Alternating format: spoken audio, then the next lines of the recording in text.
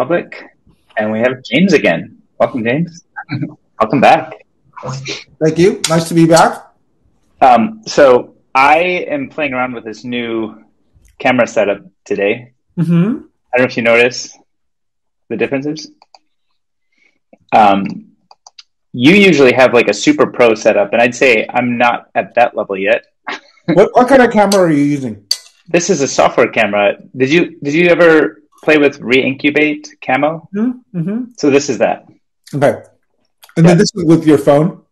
This is my phone. Yes, this is like an iPhone 11, Mm-hmm. and it has this um, this virtual bokeh. So I was actually on Twitter asking like, why hasn't anybody done virtual bokeh effect? Mm-hmm. And uh, the camo guy chimed in and said, "Oh yeah, we're working on this. It'll come soon." So I reinstalled today, Uh-huh. and they've got a beta virtual, so you can see a little bit of artifacts in the bokeh.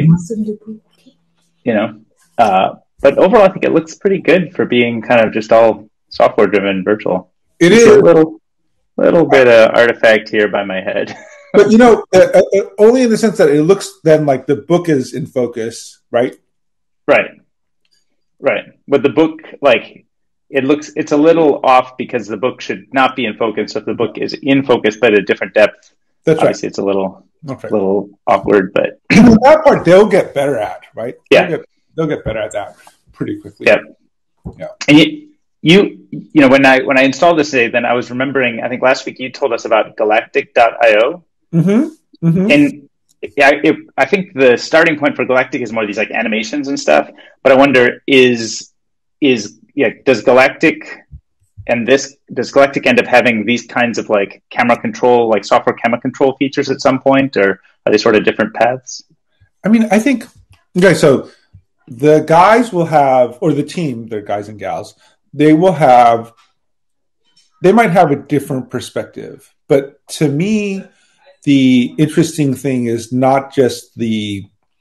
I mean, I think it isn't just the fact that this is a camera, but it, right now for them, they're a layer between me and the camera, and so the result of that, you can do like whatever the cool animations that you can turn on or off and stuff like that, right? But at the same, Yeah. but at the same time, like I think the real interesting part is that it is a you know that layer's just a web page. It's all HTML, right? And so then you Yeah. can build all manner of interactive web applications on top of that. From like I think the thing that they do internally is like you can imagine a Google Doc in front of me right here, right? Yeah. Us writing on top of it, and so that I think that piece is like the near term place for innovation, as opposed to just just the hey, you're looking like the cute fun part or the Right. or like the my face is clearer in some way, right? I think so. I think the fact that you know the moment anything becomes a web page, then you open up for all sorts of I don't know. You this line is your line. You know all those sort of permissionless innovation, right? You get Yeah. this opportunity, and so that's part of what's exciting. Yeah, and is the yeah converting it from a web page into like a video stream? Is that kind of the core of the challenge that they're and, and then making it easy, right? Making Right. the web page, making building whatever you're building on top of the web page easy, but also just making sure the the harder part to make easy is just making sure the client works well on all manner of devices, right? Right. Sort of and install, you know, the installation process is still a little too hard, et cetera, et cetera. right? Do, do you know what the the current state of the world is with things like um, like Mighty App using kind of webcam, you know, video related kind of capture stuff? Oh, okay, I, I I might have misunderstood this. I thought web app was streaming a web page to me. Isn't that what web app is doing? Oh, Mighty Mighty app is doing. Yeah, yeah. But Yeah. I wonder, like, if so, if I'm using a thin client with Mighty Uh-huh. and they have a you know a Yeah, server Yep. that's actually running the web browser. Typically, it's the web browser's job to pull the bits off my camera, Right. and my Yeah, camera is Oh, local don't to that. me. That's a great question. I don't know. But did they provide like a little shim in their light client that pulls bits Yeah. off my camera and sends it? And then does that? That's a great question. I don't know. I don't know. That's Yeah. really interesting. I mean, I guess we'll have to ask Suhail. Yeah. one of the one of the funny things that's going on is you know sort of everyone's focused on what are folks with the right reason folks are focused on crypto folks are fi- focused on big data engineering stuff. Folks are mm-hmm. focused on productivity apps, right? Folks are, you know, like, think about all the things that people are focusing on, which totally makes sense. At the same time, it feels weird to me that there are all these like changes in that relationship between fat and thin clients. Yeah. Right. So probably one of the cool things I saw this week is I'm a little obsessed with this the, SQLite. Have we talked about SQLite yet? Uh, I don't think we've done not not in any depth. Right. So SQLite is basically a relation lightweight relational database that works on your machine, right? You know, sort of. It, mm-hmm. it, it, have, do you know anything about SQLite? Have you seen anything about it before? I mean, I, I, I know that people use it, and i I do not know a ton about it. S Q L I T E. It is probably the most installed database in all of human history because it is on every single Mac device. That basically mm. it's an open source project, and for whatever reason, Apple decided they liked it and they use it for their backend for all mm. sorts of slightly crazy things. Like so, everything from like all your messages, if you're on an iPhone, they're all stored in SQLite. Like oh, I see. All your photos. Mm-hmm stored in SQLite, and then they make it. It's it's a little bit hard to get access to it, but actually it's not that hard once you go poke around. You can, so you can write queries against it. And you're uh, saying from from Mac OS, you could write queries against the SQLite well, interface your to like. You'll find like if you go digging around your file system, you'll find like oh wow under the hood. You okay, know, you so you just like open up terminal and you can kind of start. You just hit or or this guy Simon Willison, who's this amazing guy who invented Django, the you know the the CMS application yeah. platform. He's got this thing called Datasette, D A T D A T A S E T T E, and and with that, he's got a bunch of ways to unwrap, you know, sort of SQLite, you know, sort of interface yeah. and stuff like that. And and so that's that is like I think so that's that first part's crazy. And then the fact is that like sort of SQLite is so so small, it's open source is really easy. So that there's lots of interesting angles there. But the craziest thing is that someone put on Hacker News like sort of pulling running SQLite on a web browser. And so I guess the way and I didn't I don't totally get this yet, but I think I think they might have like implemented SQLite in JavaScript or WebAssembly or something, right? Mm-hmm. So mm-hmm so then now you don't have a, you know, we're like, like the great thing about what Mighty App is doing, it's a super thin client, right? Yeah. The crazy thing about like um that demo is that that's a really fat client, right? Right. You right. know, and so all those changes feel like yeah. relevant right now, right? You know, right. So, and part because we're so used to downloading all this junk and JavaScript for yeah. advertising, we might as well use it for stuff. That, so, right. Yeah. Well, I think I think it's an interesting point you make because it's I think we're also seeing these kinds of changes with things like Apple and their perspective on OSs themselves, right? Because like the convergence of Mac OS with iOS is kind of you know obvious and seems like it's taking a step closer each day. And what is a MacBook Pro versus an iPad Pro versus right. an iPhone? Those right. are all like on this convergence path too. So that's another one where it's kind of like the layers are getting kind of collapsed in ways or kind of like let's say reworked in ways right that i think create like a lot of you know a lot of opportunity for new behaviors to emerge around those changes right that's an interesting interesting space to to watch yeah one, one other actually with that perspective what else what else is kind of like architecturally changing about the way we kind of use the internet or software Well, I mean, so your point around like the victory ARM beating Intel, right? Is sort of, I guess, what is that really? Is that a RISC versus CISC thing? Uh, ARM versus Intel? Yeah. Uh, like probably, yeah, probably. Because in the, I, I remember when I was in college, it felt like a big religious debate, right? And then it looked like Intel won, right, by adopting a bunch of learnings from RISC, right? right? And then yeah. they lost eventually, but it's not clear to me whether that's like management problems or whether that's just fundamental. Right. At some point, did, did you do like assembly language programming? I, I did for like two assignments and kind of wanted okay. to do myself. Right. Yeah. Did, did you do it in like x86 instruction set or in more like a RISC? RISC. Okay. We, we had a big x86 kind of a whole like semester course of x86. Oh, God bless you. Uh, and I actually ended up TAing it. I loved it so much. actually, okay. You know, one of the things that I've been thinking about from an investing point of view is like thinking about like other signals of quality, right? Mm-hmm. TAs. TAs. It's a strong TA, TAs for CS courses. And maybe not for stats courses. That's like a strong signal of quality because it shows that you're oh. both like curious and interesting and good enough that the teacher thought you were good and you know all that sort of stuff, right? Right, right. Yeah. So, so you're saying to use, to, you're saying to try to create like a rubric around how to identify the kinds of people you might want to meet or work with or do stuff right. with. That's right. And it's just so mm-hmm. hard, right? It's so hard to figure out why anyone's any good. And it's also hard to do it in a way that's not like now that we're conscious of all the ways that we're secretly biased, right? It just shows you yeah. all, there's all this missed opportunity all over the place, right? And then mm-hmm. so constantly looking for these signals of quality, and one of them is that. Right.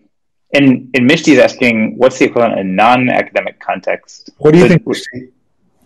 Well, I just think of when people talk about like we had Sar on the other day, and he had all these anecdotes about founders who just like demonstrated the ability and willingness to learn about just about anything by doing random side project projects and whether it was like who was he talking about? I think the Patreon founder yeah. was a musician and like one of his SARS like early signals that this guy was legit was he watched a music video he made from scratch, like building robots and this elaborate Star Wars set, and he had no background in any of this. He just like taught himself how to do robotics and like yeah. corralled a bunch of friends to help him organize this thing. So it's kind of like that spirit maybe in the startup world, but oh, i am not sure.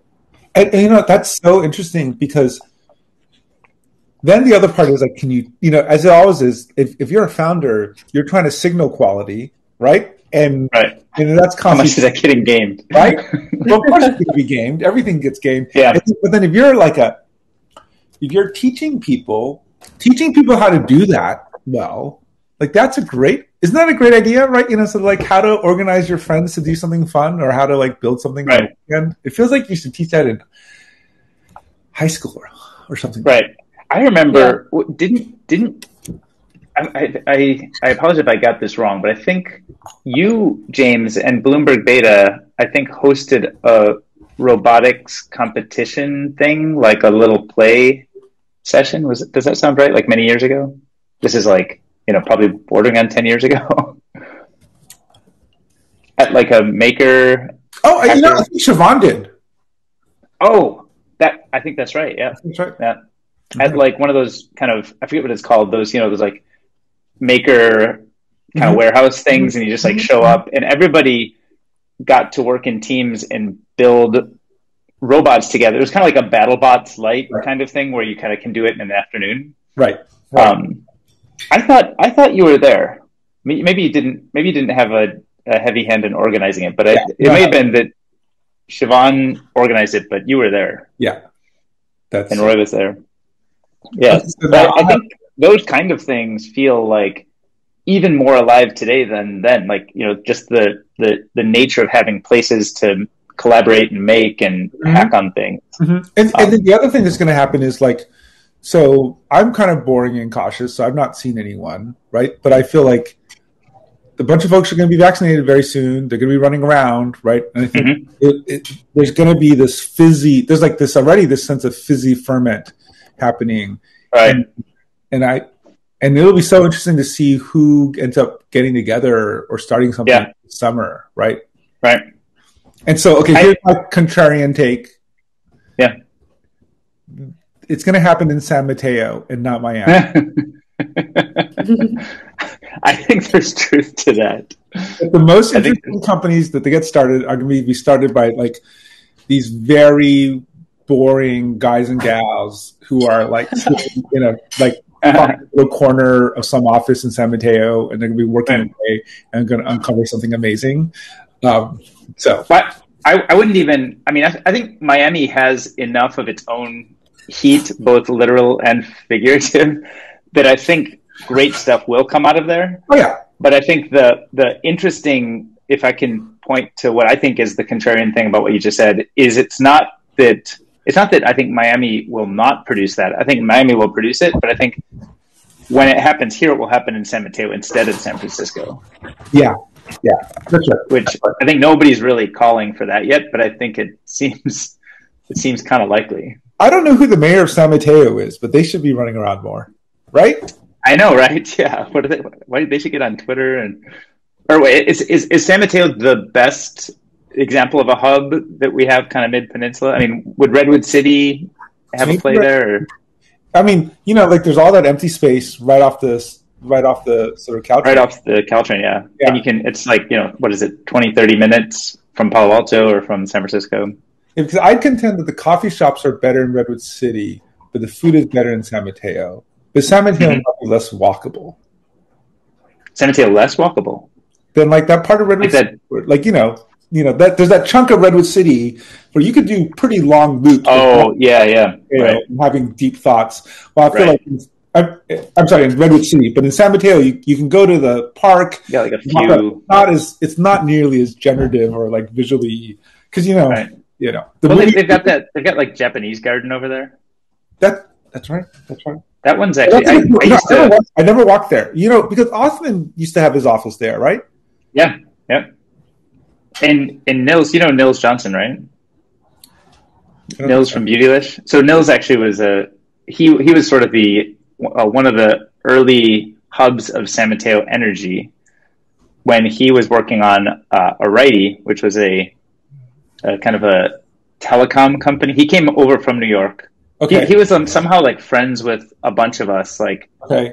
uh, like Othman, and if you ever ran into Yael Shaham from Google, Okay, yep. Um, a lot of us, you know, in Nils hung out, but he was in New York. Then he moved to San Mateo. He was uh-huh. his his take was kind of like, look, I'm coming from New York. I give up. This city thing is not a real thing here. Like San Francisco is not a real city. So let's just full on just go to San Mateo because like let's just not kid ourselves. So he moved to San Mateo and then he set up an office at um, at the Union Bank of California building on yeah. El Camino. Yep. And um, it was the same office where Napster was uh, operated for quite a while. Right.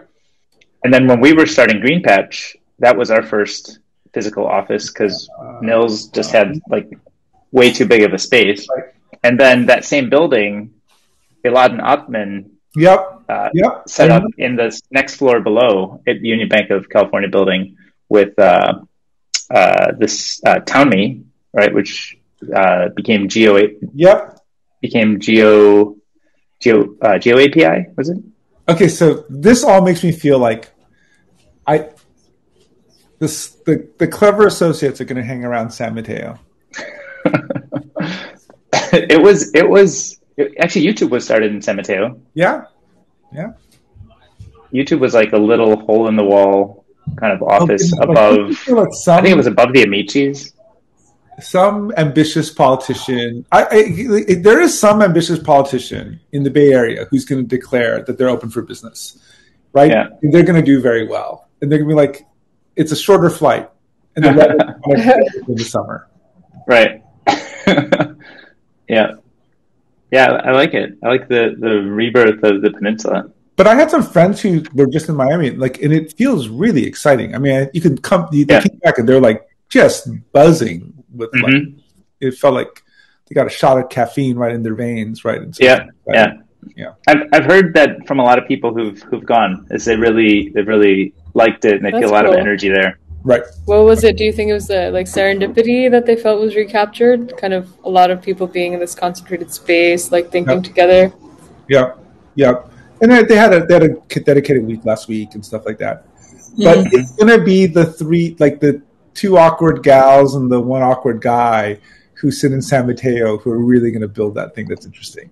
That's fun. yeah. Or or so they're then, all remote because remember we talked to like Andy from Read.cv. He he has like this one guy in Tokyo that he's working with, and then his one friend I think in New York, and I forget where he he is, but they're all kind of just like, I, I he was so low key. They all basically just, just, like text each other and build this thing. he just posted a uh, a picture. I thought I saw on Twitter yesterday of them all hanging out in Berkeley. And isn't the, the crazy thing about Read is or CV is isn't it isn't their taste just impeccable? Oh, there's something to be said about taste, and so I don't beautiful. yes. like you know sort of like. Here's here's the picture of them hanging out in uh, in uh, a rare post-vax photo of the team in Berkeley, California. Read.cv.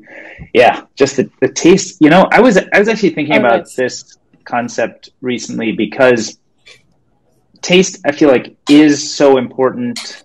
It's almost like, in in a sense, it matters so much more than anything else. Is like having good taste, and how do you develop good taste? And if you wanted to like, if you wanted to create, you know, a college where the primary, the primary, you know, college is a heavy word maybe, but the primary like accomplishment or you know certainty when you graduate is that you actually have good taste. Right. What would that look like? What comes first? Does taste come first, or does ambition come first? I think you can have good taste without huge ambition. I think you can only have good taste if you have the ambition to have good taste. I think that. Oh, I often okay. think About I often think about like sort of uh, there's an early description of Steve Jobs, and he had bad taste initially, but he had the ambition to have good taste, and so he would just constantly Right. be trying to figure out what's good or not good. And I think that idea, like that, and then you know, coming in my mind, sort of taste feels like one of those things that comes from God that just strikes you and you become like sort of really tasteful. I just don't think that's true anymore, right? I think that like it's just that willingness to just like talk and grind and see and see and see and you know and i think that's actually that that willingness to do those reps i think like that's the Mhm. actual secret to good taste And and do you think that taste in one domain gives you like you know some substantial advantage when moving domains, or do you think it's mostly domain independent, or how do you think about it, kind of cross domain? I, I think i think that it is i think that taste like charisma is comes out of context and it comes out of context in which you're in communication with a community of people right and i think that Mhm. that's that's true that said like when taste gets passed from one place to another another field i think oftentimes that's most that's partly about taste that's partly about prestige right and status right that i think you Mhm. have high status because you're a famous classical musician and thus i think your views on politics is much better or whatever random Right. Yep. And then you but then your ability to bring in some of the insights from something that adjacent into something else like that ability is partly so like there's partly genuine substance but some of it is just status right it's just it's just status transfer Right. Yeah, actually, I think I think the status transfer actually helps sort of curate good taste to you, or at Mhm. least Mhm. gives you like an advantage in the, the candidate set that you're looking at already has some taste vetting because of your status, and so then you're just doing more like fine grain tuning on your taste instead of like like I, I- I think actually taste is a huge part of investing, and so you know you, you spend a lot of your days meeting companies Right. and like is it getting the reps, getting the reps and trying to see what's special right? Because what's special today is very different than what was special in 2010 or to be honest in 2018 right because right some things get flattened and easy to do some things are hard to do some things are scarcer or not scarcer and i think all of that shifts so what's scarce today So I was talking to someone about this. Um, uh, I think, uh, like, I think everyone realizes there's plenty of money, there are plenty of potential customers. It's attention, right? It's like, and it's not, you know, not just on the consumer side; it's everywhere, right? So that Yeah. ability to command someone's attention is, I think, like that's where the heart is, right? Love is about attention, right? And then money follows, and I think that's true it's also partly true, but it's even more true now because if you can show that you've captured the attention of someone, then then capital will follow, right? Mhm. And, and you know, people will make fun of some name your company that just raised a bunch of money at some crazy valuation, and they'll say they only had half a million dollar revenue. How good could it be? But that's mm-hmm. entirely missing the point, right? Because the Right. thing that's changed is that that investors now recognize that if you get attention from people who have money, they'll pay money, and they recognize and they realize the that upsell is valued properly now or valued more, and so that changes the dynamic. The dynamic. Right. Mm, that's interesting. But how do you think about like how fickle that attention might be? I mean, it's better than having no attention at all, but that's a so- tricky thing to measure. So that, of course, is exactly the trick, right? So tell me, is it a fad or is it a fashion or is it a long term change in etiquette and protocol? And the reality, though, is that it's so interesting to hear people speculate about like Clubhouse, for example, right? And there's like a way in which like people talk about it as if if I just think this through, I can solve the problem and I could be but the truth is that it really depends on who Paul hires tomorrow, right? Or who who he hired three weeks ago, who may do the deal, or who may build the part of the product that changes the dynamic between this and that, right? And so Mhm. I feel like that's the. Or I talked to someone, a friend of mine whose company is doing really, really well on the one hand, but it's like hit a kind of hit a wall because there are questions about TAM, right? Mhm. About total available market, and everyone will say, "Oh, isn't it obvious that you know the total available market was too small?" It's like, no, it wasn't. It wasn't obvious because he still can redefine his total available market. Like all that Right. stuff is open for redefinition and Yeah. rebroadcasting, right? And so Yeah. I think that's what's kind of a. That's probably why. I, that's another thing I probably believe now that I didn't believe initially or didn't. Right. So, so I, I know you're. I know you have a hard stop at twelve thirty, and I wanted to at least make a proposal. This has been fun, and I could imagine a few different things we could kind of Yes. do. So, you had this proposal of kind of a show content format kind of idea that we discussed last week, Yep. which I think we're all excited about. But I want to figure out like, is it a different thing than what we're doing here? Like, does it have its own name and kind of process to it, or is it kind of just an ex- like? Do people come expecting to talk about 2030, and is it kind of like it's got its own kind of theme and process to it, or is it just like a building in public thing? So should it be I a different? It is building. I, I think on f- every other Friday, there's building 2030 in public with Ooh, I like me and James Cham, and then Yeah. we invite someone to join us. Awesome. Right? Cool. Because you know, you could like we could be like second foundation and build it in private in the hope that we'll secretly manipulate everything. DK might be smart enough to do, or we could be like the first foundation, just be out there, right? And so to say, we'll do it in public. Because I know DK has a secret building in private conversation going on well. No, all of my private conversations now I try to push here. like like I, I meet I meet a founder who's building something and somebody's like, Oh, you should meet this person, can you chat? I'm You're like, like, "Let's Why do don't you come on the show? And they're I like, it. Well, I love it's it. kinda sensitive and I don't know if I, I was like, No, just come on the show. That's the the only thing it." that matters attention. The- I'm- or the scarce asset right now is attention. So I've got to go to my 12:30. But Cool. in two weeks, right, so yeah, Yeah, so two weeks. two weeks. We'll, we'll just keep it a standing thing. It'll be called Building in Public 2030. It'll be like this plus other people or whatever if we want. But even if we just sit here and read Hacker News together, I think we'll have fun. okay. okay, thanks, James.